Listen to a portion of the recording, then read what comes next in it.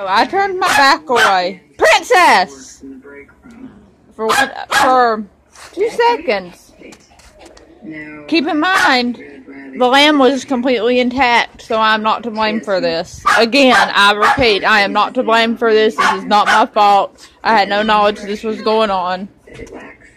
These two sweet angel demons. Look, keep in mind, I will say again, so I do not get my ass beat, this is not my fault. Since Grissom left. This is what's left of the lamb. And Prince, that's the speaker that came out of the lamb. Everybody's swinging for the fence. This is what else is left of the lamb. See? He and she tore it up. To sharing your spouse's interests. These are your babies. Okay. Weird you. I know.